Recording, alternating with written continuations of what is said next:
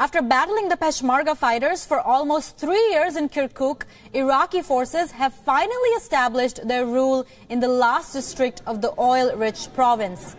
The U.S. and Iran-backed counter-terrorism forces fought the Kurdish forces in the town of Altun Kupri.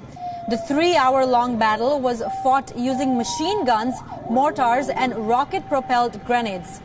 No casualties have been reported so far, and the Peshmerga fighters had moved into Kirkuk following the withdrawal of Iraqi forces during the Islamic State advancement towards the city in 2014.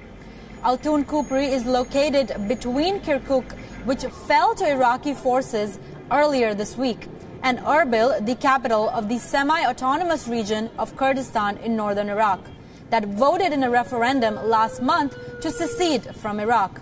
The latest development, however, has resulted in thousands of Kurdish civilians fleeing the region, fearing their persecution by the hands of Iraqi troops.